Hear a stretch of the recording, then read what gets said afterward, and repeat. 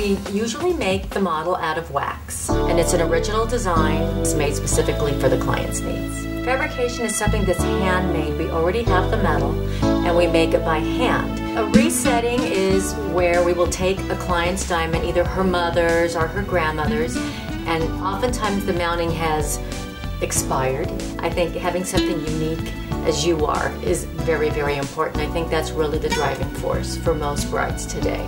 Normally we ask half down when we do any special orders, um, and that's customary in the industry. So we really cut out a good chunk of the middleman profit. To set things lower for someone that's very active is very important and maybe not even prong, do bezels so something is recessed just even a little bit lower so it's very smooth. So what we like to do to protect the diamond is to put the metal all the way around the stone to protect it so it will not chip. But it also makes it very easy to wear, especially for someone that's very active or is in the medical profession. I mean, you can imagine the stone setting up and you're trying to pull a load of laundry out of the washing machine. That metal will actually catch the edge of the diamond and many, many women chip their diamonds. We have a very cute saying, you wouldn't garden in a $10,000 pair of shoes or a $10,000 dress. So we really want you to take care of your ring, treat it like something that's precious and that you love. Safety, that is very important because especially for men, if they work in electrical or construction, you never want your spouse to lose their finger because they have their ring on. Quite often brides come in with a photograph of something that they like and in their minds they think, oh, that's really what I want. But when, in actuality, when they actually start tr trying the rings on, they discover that, oh, that ring doesn't look so good on them. So it is a process of trying on a lot of rings, seeing what style looks the best. A lot of it has to do with the length of the hand. Let's talk about the quality of diamonds. We have the carat weight. That means how big is the stone. But carat weight doesn't always interpret into diameter of the stone because the stone can be off make, which is the cut of the stone. And we have a little saying, the magic is in the make. How well does that diamond perform? Does the light enter the stone, reflect, and come back out the top? You don't really need light on the outside of the stone to make the stone beautiful. And you can have a stone that has color. It can be a fancy color. It can be yellow. The darker pink it is, the more expensive it is, or blue. The color grading starts at D and goes down to Z. And everybody would ask, where's the ABC? Well, they say that's reserved for God.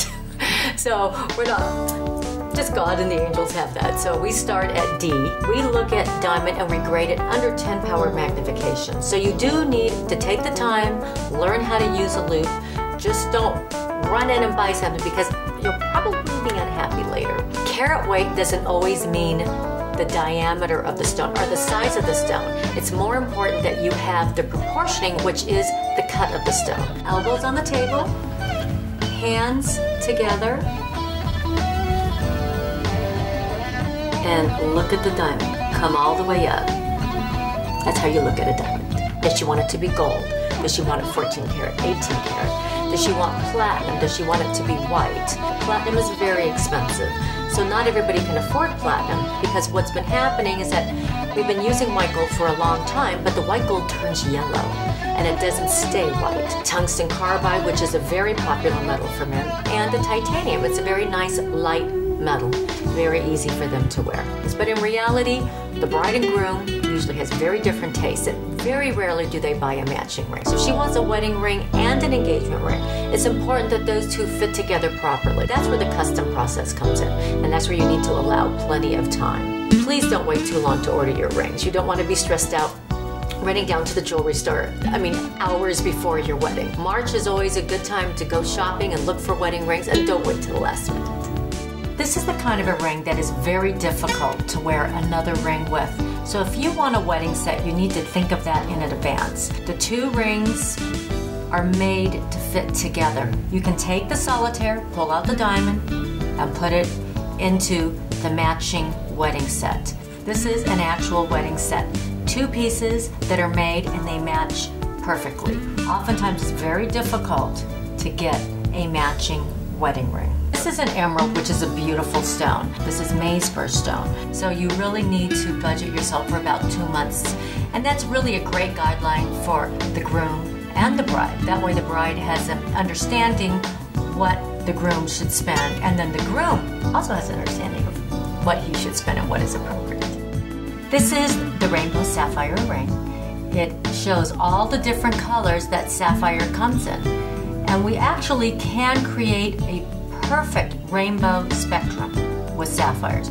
Gay men traditionally will buy a simple band, something in platinum, maybe with a diamond. The women tend to buy more the multicolor sapphires. Again, like in any couple, they have different tastes. Maybe 10% buy matching.